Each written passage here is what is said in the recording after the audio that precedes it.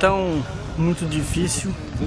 É, é lógico que quem vem para um Rally dos Sertões, ele vem para enfrentar dificuldades e é um desafio muito grande de você sair e chegar do outro lado.